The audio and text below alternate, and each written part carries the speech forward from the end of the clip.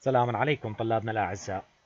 طبعا آه، اليوم راح يكون عندنا شرح لكيفية الإجابة أولا على ال assignment أو ال homework أو الواجب اللي يقدم لكم إياه الأستاذ. هذه الجزء الأول وإن شاء الله الجزء الآخر أيضا راح ناخذ شلون نجاوب على آه، الامتحان. خلينا نجي للمواد طبعا هذه أنت لما تدخل طبعا هذا بالنسبة للمرحلة الأولى. هذا ينطبق على جميع المراحل. تجي تشوف المادة اللي عندك بيها امتحان. تدخل على هذه على المادة نفسها. زين خلينا نجي أول شيء هسه لل assignment هذا هو ال assignment أو اللي هو الواجب. الواجب تجي تفتحه. جيت فتحته. شنو اللي شفته؟ اللي شفته هذا الملف. هذا الملف تجي تفتحه. طبعا هنا ملف مرفوع ما طالب من عندك الإجابة بشكل مباشر. لا ملف مرفوع فيكون الملف اتحمل. تفتح الملف. طبعا أكو ممكن أحد الأساتذة ما يحتاج يخلي لك ملف. لا مجرد يسوي لك آه، نص وأنت تمليه داخل الاسايمنت نفسه. لكن هنا أنا سوى لك اياه ملف. تفتح الملف فتحت الملف هذا هو تكتب اسمك. وتكتب إذا عندك رقم أو المرحلة. تجي هنا تقرأ هذه التعليمات. شنو المطلوب من عندك؟ تجي مثلا تقرأ هذا البرنامج وتشوف شنو المشكلة اللي بيه وتصححها وأيضا هذا وتصححها كملت هسه هنا عندك هذا السؤال الثالث مثلا. هنا شو يقول لك؟ يقول لك modify your uh, example number 1 اللي هو هذا example number 1 هذا. to add extra text of your choosing uh, to um, the sentence displayed on the screen. المهم نقدر تجي هنا تحله شلون تحله يعني أنت هسه بالنسبة لك ما راح تجي تحله بشكل مباشر. لا تجي تفتح الكومبايلر تجي تسوي لك برنامج جديد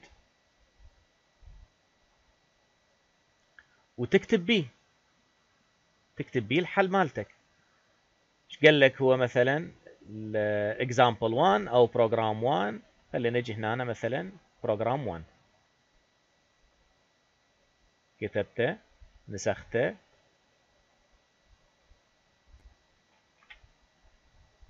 صححت شنو المشاكل اللي بيه وخلصت. okay ماكو إشكال. مثلا هذا بمشكلة مشكلة وين؟ مشكلة مشكلة هذه. ما بيها سيمي كولوم. شغلته اشتغل مثل ورد هاي مثلا. خلاص. هذا اشتغل البرنامج وكمل طبعا. هنا حتى تتأكد إنه البرنامج اشتغل.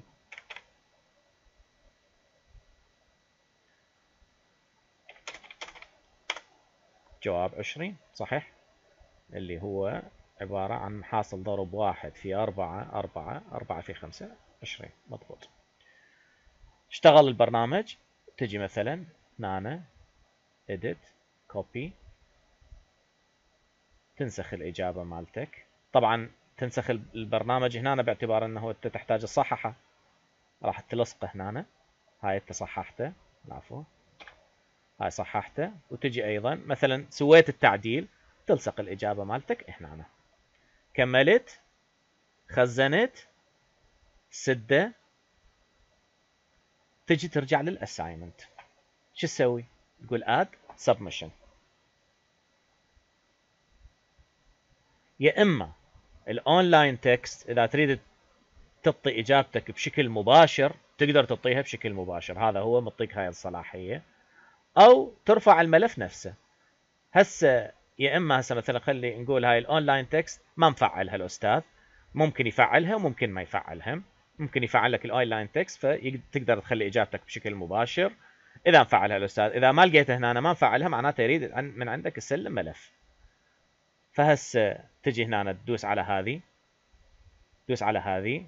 add file upload وين نزل؟ خلينا نقول إحنا أعتقد نزل بال downloads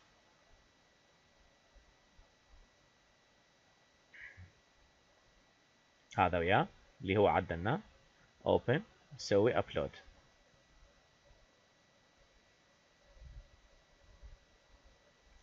كمل save change. بهذه الحالة أنت تكون saved ال assignment وأصبح عندك saved هنا أنا شوف submission status submitted for grading. هنا الأستاذ راح آه، ينطيك بعدين. الدرجة عليه. بعدين يعطيك إياها. هو هسه الأستاذ راح يشوف أنه انت submitted ماكو إشكال. و شو اسمه هو بعدين يعطيك ال grade ال grade هنا راح تطلع لك درجتك إيش قد. هاي شغلة. الشغلة الثانية انتبهوا لي طلاب. انتبهوا شوفوا أنه شو وقت آخر موعد التسليمة؟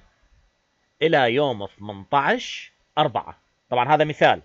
هو مو مو هو اللي سواه الأستاذ. هذا مثال. شوفوا هنا يوم السبت 18 4 ساعة ب 12 الصبح. يعني معناته إيش قد عندك؟ هنا يطلع لك باقي عندك 6 أيام وسبع ساعات.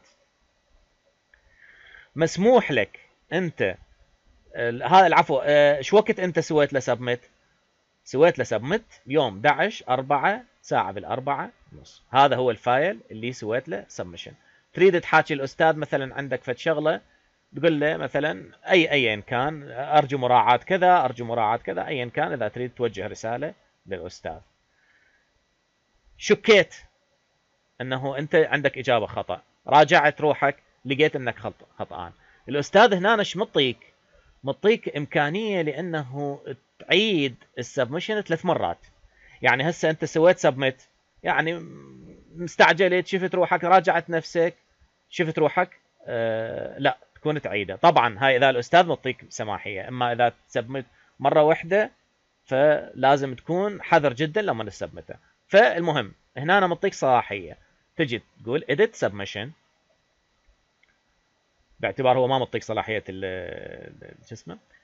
ال online text. ها العفو إي صحيح فعلناها. فعلناها. هسه هنا إذا تريد تعطي إجابتك بشكل مباشر آه، ممكن مباشرة آه، تعطي الحل آه، هنا ويروح للأستاذ. على كل.